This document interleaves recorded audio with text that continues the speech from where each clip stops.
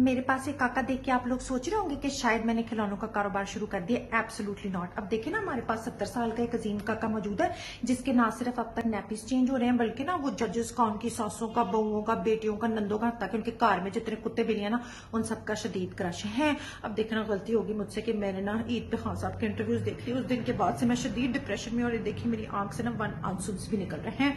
तो ना खान साहब ने ना अपनी फ्लॉप परफॉर्मेंस का ना सारा मुद्दा ना बाजवा के ऊपर डाल दिया है। मैं इस पर हूँ कि पाकिस्तान की तारीख में आज तक ऐसा लाचार, बेयार मददगार हेल्पलेस और होपलेस प्राइम मिनिस्टर नहीं आया, जिसको ना बाजवा ना धोखे पे धोखा देता रहा। लेकिन आफरीन ने अपनी कुर्सी बचाने के लिए ना वो चुप करके बैठा रहा। तो भला बंदा पूछे कि खान साहब, दो में जब बाजवा का आप शदीद क्रश थे, जब आपको सिलेक्टेड करके लाया गया था, तब तो आप रोज टीवी पे आके ना बाजवा की तारीफें करते थे कि ऐसा जमहूरियत पसंद जर्नैल मैंने आज तक नहीं देखा है।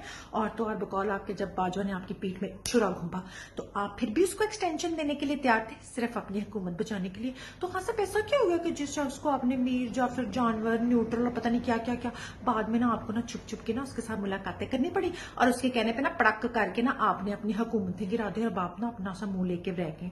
लेकिन हसा ना वेरी सीरियस नोट मैंने आपसे पूछना था कि आप तो खुद भी बाजवा को एब्सोल्युटली नॉट ना कह सके, हकीकी आज़ादी उससे हासिल ना कर सके तो हमें क्या हकीकी आज़ादी दिलाएँगे?